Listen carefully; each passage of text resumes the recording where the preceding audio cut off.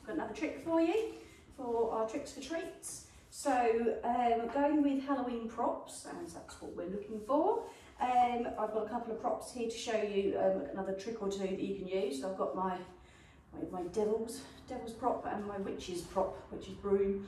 Um, so things like this, we can do a few different bits and pieces with them. So I'll start with just one.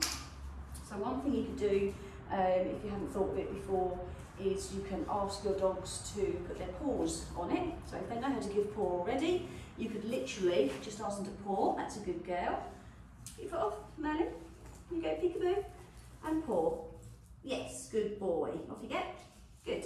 So you can literally ask them for paws. If they know how to paw your hand on cue, do a couple of those first, and then you can literally just, just have the item on your hand, ask for paw, and them paw, they'll learn how to transfer that skill from your hand onto your item.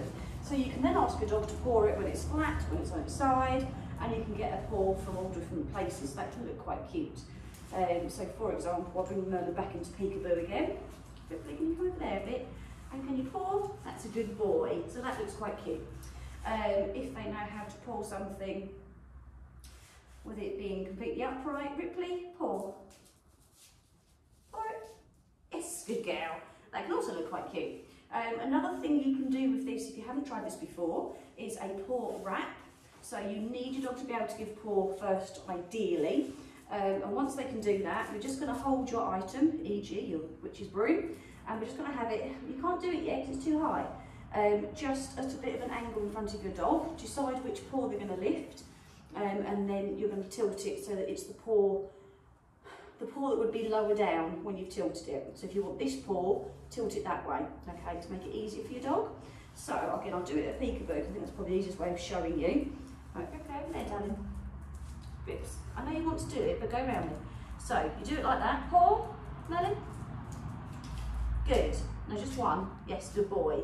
And then what starts to happen is they paw it like this, they paw it like this. We then can put it really close and have the treat out here, and they actually start to paw like that, and the wrist just kind of goes like this at the end of it. When they do that, that's when we really praise them, tell them how brilliant they are, because then that's gradually going to be your paw wrap. Okay? So, let me show you that with the Ripper Chippers. Ripley. Good girl, mate. Paw. No. Other paw. Yes. Paw. Where's your paw? I'm using the wrong hand, I know, I know, really. Let's try that again with the correct hand. Sit. Merlin, not helpful. Go over there.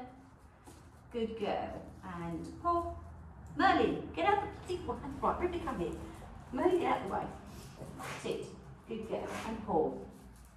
Which paw? No, this paw. Yes, good girl. We got there finally. So you can see how her paw is hanging over the top more. Got the angle, I've got it really close to her. I've brought the treat this way. When it was the wrong paw, I'm obviously not going to treat her for that, but when it was the right one, I tell her she's done a good job. And then gradually, you can have it higher and higher and you won't need to lure them quite so much. So Merlin, wait, hang on, paw wrap, good boy, and then actually keep it there for a bit longer, and then finally you can have it completely, yes I know, completely upright, you get that, and Ripley wrap, yes, and you get a wrap, yeah? So it takes a little while, I mean even if it's here and you've got a paw on it, that still makes a really cute trick, it doesn't have to be completely upright, you can even go so far to see if your dog can hold it like this while you're not holding it yourself, um, or even see if they can hold it with two paws, which also looks quite cute as well. So you've got a paw wrap that you can do. Um, you can also, for something different again, different prop, you can ask your dogs to go around the item. So if they know how to go around an item already, like a barrel or a, a agility wing wrap, you can use cues that you already have. But if you're doing this from brand new, you'd literally guide your dogs round and then treat and praise. Yeah? Um, hold it up with one hand, use the other hand to guide them around. Go around, Rippers. Good boy, Merlin. Learn to do the paw wrap. Good boy, I don't need you to do that. Good boy, that was very nice. Go on then. And Ripley, go round. Yay! Go round. Yay! Obviously mine do know go round. Um, so it doesn't matter which way round, whatever works for you is fine. You need to then work out which hand with the treat and holding the item works best for you and your dog um, as you guide them to circle, circle, good boy, get it. Um, so it might be that you do it so that you can guide them further around like that. Good boy. Or it might be that you do it so you can you know, keep it really, really close. So you start with that. Um, you can also work on things that are standalone and send your dogs to go around it to help them with the wording and what to do. Once then they are getting the idea a little bit, you can go round, go round. You can ask them to go around it a couple of times in whichever direction you want them to do it. So rippers, chippers, circle, good girl, and circle.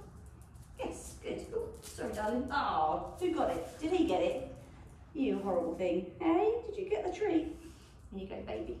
And then if they can do that, if you can ask them to go around, you could maybe synchronise it. Oh, go on, go around, go around. Good boy, go around. Yay! And get them to go in the opposite direction to where you're going. So you choose the direction a dog goes in first, and then you go the opposite way. Ripley? No, okay, so go around. go around. Go around. Well, we're going to go the other way. Go fine. Good girl. Okay, so you've got a paw on the item or a paw wrap, and you've got sending your dogs around or synchronise go around so they go one way and you go the other. Yeah? So two more Halloween themed tricks for you to have a little go at. Really looking forward to seeing how you're getting on with some of these tricks. Remember, anyone can take part, anyone can enter.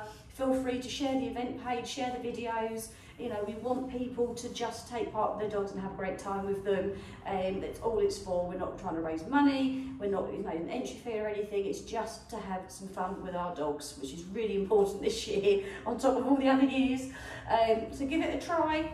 Let me see how you're getting on, either with a photo or a video, and you can post it in the event page here, or tonight I will be creating the thread on our dog training for Essex and Suffolk page for you to be posting your entries there as well.